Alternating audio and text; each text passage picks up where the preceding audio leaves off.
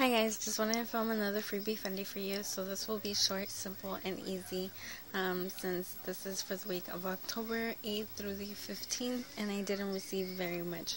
So let's get started. First is this Kashi chocolate soft big square and I received this from the Facebook page along with the dollar off coupon which doesn't expire until the end of this year which is always great and I actually did like that bar. Uh, next is the St. Ives Apricot Scrub for blemishes and blackheads. This is also a Facebook offer from St. Ives, and you had to upload a picture and send it to your friends. Next is the prize pack from Kiss. I received this from their Twitter page, and it is just the Kiss Nail Artist 3D charms, along with the Kiss Nail Artist tattoo stickers. And next is um, prize I won from a blog, or I think I won it from a blog. I'm not sure. Um, I'll check my email. But um, this is the Burberry Beauty box set, and it came with a product card and a few samples. So let's get started.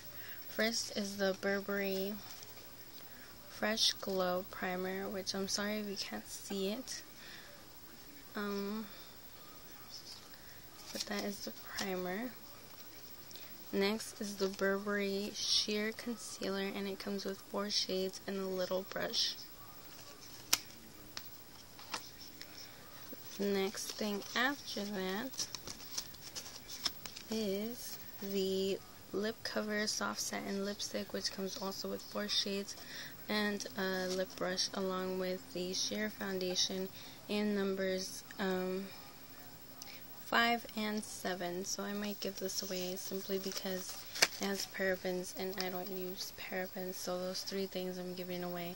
Next are these um, three cute sample size uh, products which is the Burberry body perfume the Burberry Brit Eau de Toilette and the Burberry um, lip mist natural sheer lipstick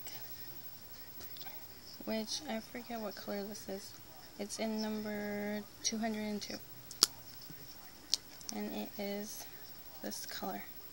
So that's pretty much all I received. Thanks for watching this video and I will be back with more.